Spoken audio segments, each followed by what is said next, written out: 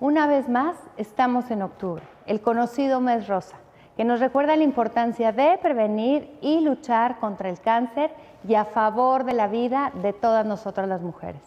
El cáncer de mama sigue afectando a muchas mujeres y familias en todo Chihuahua.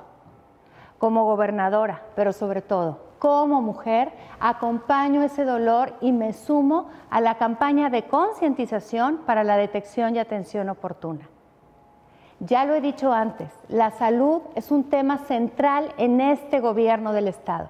Con un poco de paciencia y mucha voluntad vamos a tener instituciones capaces de atenderlas dignamente y evitar el dolor de todas las chihuahuenses ante esta y otras enfermedades.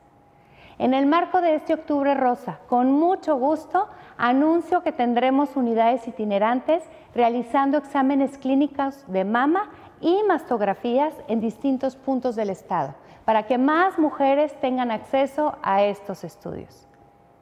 Estoy convencida de que el principio de la política es evitar el dolor evitable. Y en el caso del cáncer de mama hay mucho dolor que juntas podemos evitar.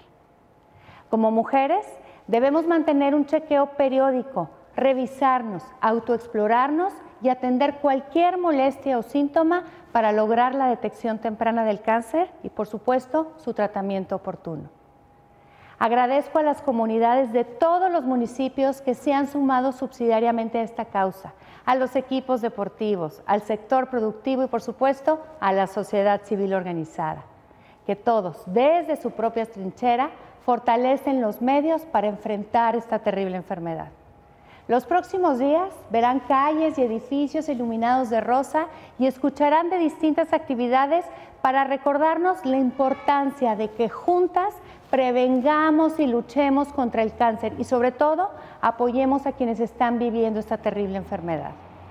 En Chihuahua queremos mujeres sanas y felices y juntas sí podemos lograrlo.